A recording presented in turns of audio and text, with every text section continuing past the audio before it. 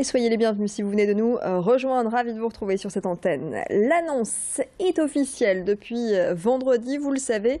C'est l'île, sans surprise, près de chez nous, qui a été choisie pour être la capitale de la future grande région Nord-Pas-de-Calais-Picardie.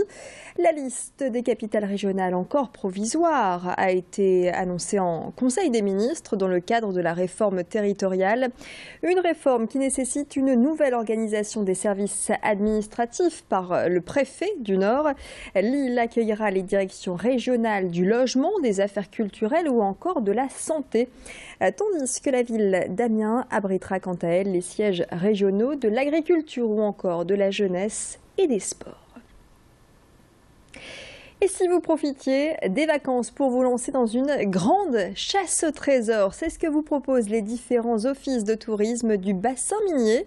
Le principe, à l'aide d'un livret fait d'énigmes, de rébus et d'indications précises, eh bien vous partirez à la recherche du médaillon de Gédéon à travers le bassin minier et ses terrils classés au patrimoine mondial de l'UNESCO.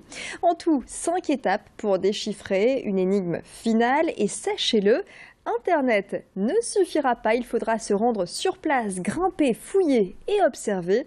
Avis aux amateurs, un grand tirage au sort aura lieu le 23 septembre, un prétexte ludique et historique pour inciter à la découverte du bassin minier. Explication. Vous allez avoir par, euh, quête environ 14 à 15 étapes, enfin de 12 à 15 étapes euh, à effectuer, sur lesquelles vous devez retrouver à chaque fois un mot indice. Ces mots indices vont vous permettre de recomposer une phrase mystère et cette phrase mystère vous permettra de trouver l'endroit où vous allez retrouver le dernier mot mystère. L'idéal est de vous photographier euh, devant l'édifice où vous allez retrouver le mot mystère et ensuite donc à partir de là les personnes en office de tourisme, les chargés d'accueil et d'information, vous remettront un petit bulletin de participation pour gagner un des lots qui sont mis en jeu dans le cadre de cette, euh, de cette grande chasse au trésor.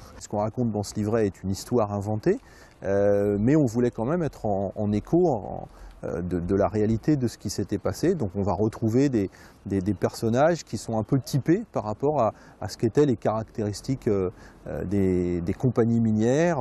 Donc ici sur le territoire des Nains-Carvin, l'audacieuse Madame de Clercq, sur le territoire de Lens, le prospère Félix. Félix c'est pas un hasard, hein, Félix Bollard. Tout est évidemment très, précis. mais on a pris un peu de distance pour justement amener les gens à être dans une, démarche euh, plutôt ludique et pas trop, euh, euh, pas trop didactique, pas trop lourde comme ça. Il s'agit vraiment de s'amuser et de découvrir en s'amusant. À la recherche du médaillon de Gédéon, plus d'infos, différents offices de tourisme dans le bassin minier vous répondront et vous renseigneront. N'hésitez pas donc à vous renseigner. Une expo qui devrait vous emballer. À présent, une expo sur les sacs plastique. Ça se passe jusqu'au 19 septembre à la Maison de l'Architecture de Lille. Une expo montée par un sacu plasticophile. Éric Monin est collectionneur de sacs plastiques publicitaires, également historien de l'architecture. Sa collection personnelle compte pas moins de 500 sacs et il en expose une centaine en ce moment à la Maison de l'Architecture. Le sac plastique, objet autrefois du quotidien, apprécié pour son faible coût et sa grande résistance, aujourd'hui décrié car devenu l'emblème de la pollution. Sur les sacs présentés par Éric Monin, des emblèmes architecturaux des édifices du Nord et de toute la France qui nous en disent long euh, sur notre histoire du Moyen Âge à la période contemporaine. Sophie Laden a rencontré l'instigateur de cette expo sur ces architectures qui nous emballent. On retrouve des façades, des devantures, on retrouve aussi des monuments qui sont situés à proximité d'un commerce.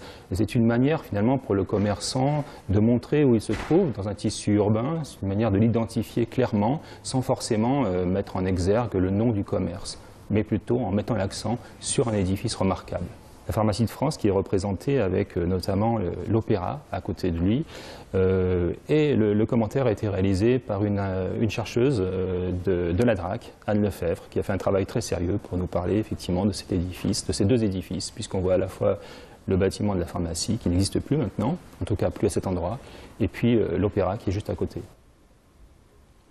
Et c'est la fin de ce flash. Merci de l'avoir suivi. Dans quelques instants, on va se retrouver pour les prévisions météo, la tendance dans la métropole lilloise jusqu'à vendredi. Et puis la météo des plages également si vous souhaitez faire un tour sur le littoral avec la température de l'air et de l'eau. Restez avec nous. Bel été à vous sur Grand Lille TV.